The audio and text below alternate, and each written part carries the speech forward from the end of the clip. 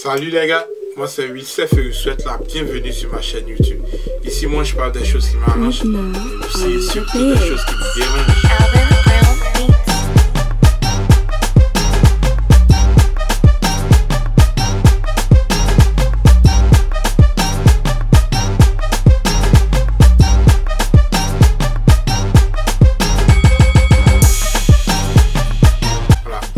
5 choses que MC1 doit éviter, absolument éviter pour rester toujours dans le game.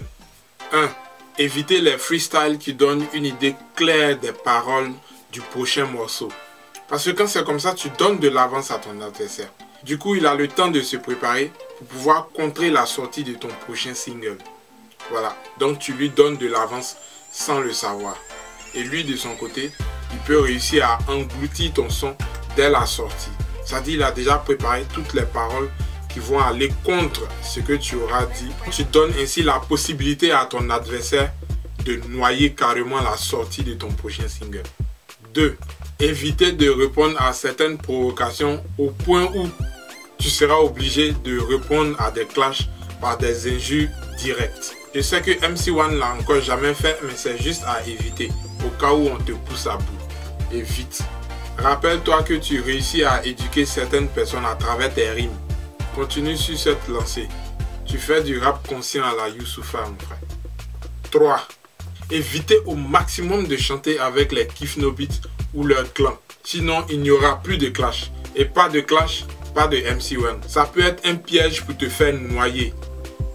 On va t'oublier. Crac. Donc, évite cela au maximum. 4. Évitez un featuring avec Suspect 95. Rappelle-toi bien qu'il a été suspecté 95 fois dans plusieurs affaires dont on n'a pas encore pu résoudre le problème. J'ai encore plusieurs affaires ici. J'ai la preuve par ici.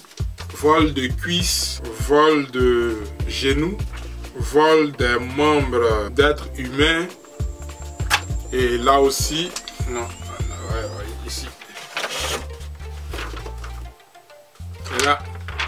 Tout est aligné là. Vol de texte, vol de beats, vol de carrière, tout. 95 soient suspectés, mais jamais d'arrestation. Rappelle-toi bien de cette phrase. 5. Évitez de tourner autour du pot avec Suspect 95. MC1 ne peut pas prétendre diriger le navire du rap ivoirien sans s'en prendre aussi à Suspect 95. Donc vas-y mon petit, lance tes missiles en direction des enfants de boss. On va voir ça porter.